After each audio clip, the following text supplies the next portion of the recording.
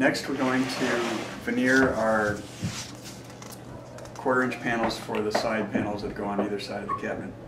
So right now these panels are cut oversized according to the, what we've got on the cut list. And the reason they're oversized is because we want to veneer it oversized so that we can cut off the rough edges when we're done and square up the panel again and make sure that we've got a square panel that's the proper size. And we also have to do this operation before we make the side panels because we need to know exactly how thick these panels are going to be and we don't know until we get veneer on them. So we're making two panels, one for each side, and we're going to do a simple book match. And a book match is simply um, two pieces of veneer opened up like a book so that you get the same pattern on both sides. When veneer is cut from the tree, it's cut into sheets that are anywhere from a 32nd to a 40th of an inch thick. And they're kept in the same order as they came in the tree. So any pattern that's in any given piece is going to continue to occur in the next piece. It's going to look almost the same as the previous piece, and so on through the line. As you get down further in the, the stack, now the, the pattern might change a little bit more. But any given any two uh, leaves that are consecutive are going to have something that looks pretty similar.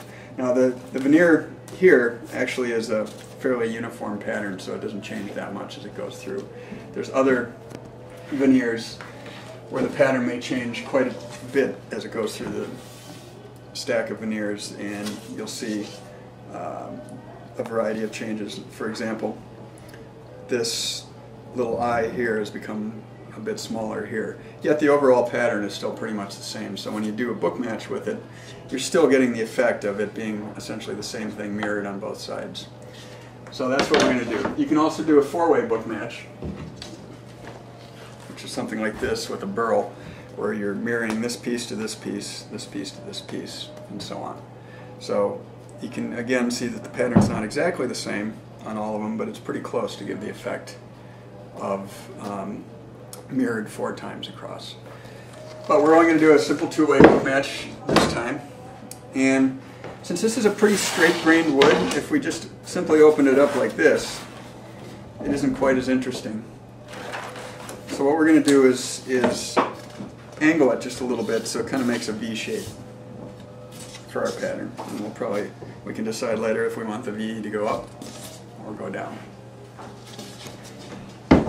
So the first step is to choose your veneers. And when you get when you get your veneers from your supplier, you want to you're going to assume that they're in consecutive order and you want to put numbers on them. So we've already numbered this like this is sheet number 9, number 10, 11, 12 and so on. So I need for what we're going to do on the fronts of all these is we need four sheets of veneer.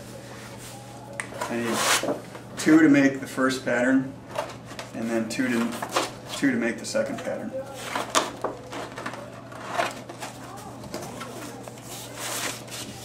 And on the back, since we're not going to see the back of these panels, we can put pretty much anything on there as long as we put um, the same thing on both panels. And it, uh, the reason we have to veneer both sides of a panel is because it, it, keeps it balanced if you only veneered one side, you would actually see, for example, on this panel, if you veneered just one side of it, you would actually cause the panel to bend. And that's due to the glue drying and pulling on one side of the um, panel. So we put something on the other side just to balance it out.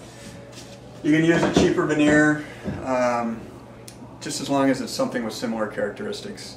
In our case, um, I'm just going to put a single sheet of this on the back because this is about 12 inches wide, these are about 12 inches wide, and I can just fit one sheet on there. So I'm going to take two sheets to use for the backs of each of these. So we can put the rest of it away. So put our back of veneer over here. So the first step is, and I can show this on something with a little more pattern in it,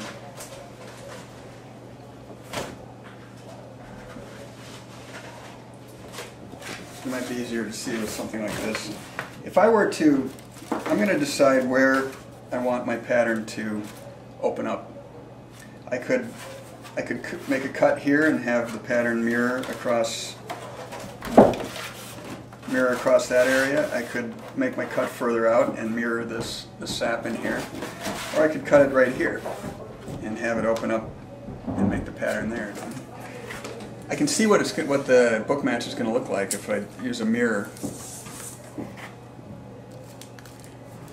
So if I cut it along this line, I would get a pattern more looking like this. If I cut it way over here, I would get a pattern looking like that. So it's um, the first thing I have to decide in, in any given situation is where I want to make my cut. The mirror can help me do that. In our case, it's a pretty uniform pattern, so I'm not too worried about it.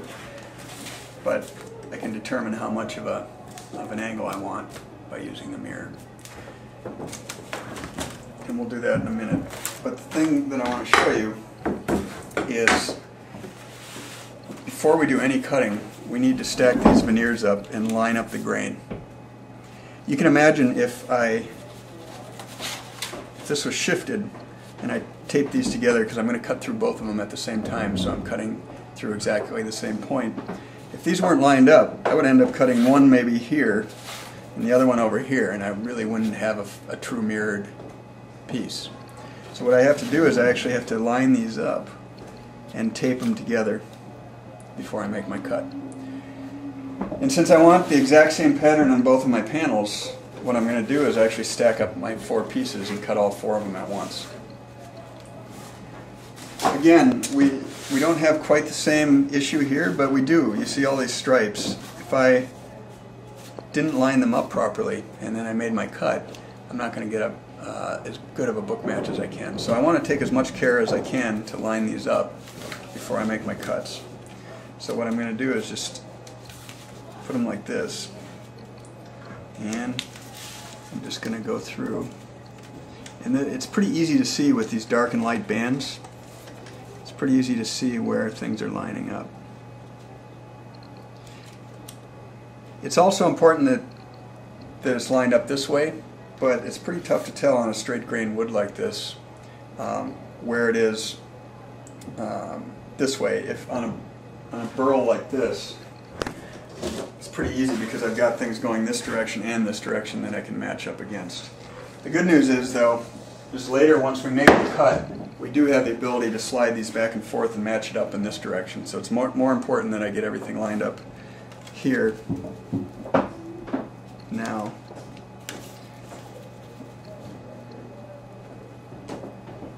Like that. And once they're lined up, I'm just going to take some blue tape and tape these ends. I'm going to try to do it without uh, shifting anything around, and I'm going to tape it as tightly as I can.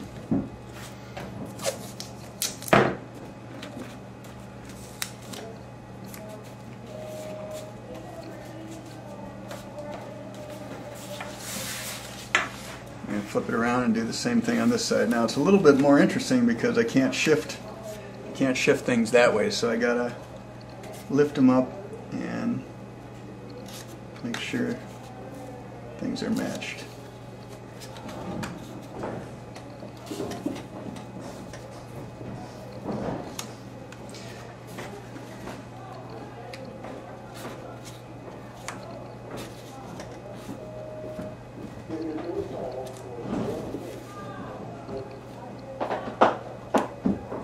Notice when things are properly matched, it doesn't mean that the edges are going to line up where they were cut from the factory.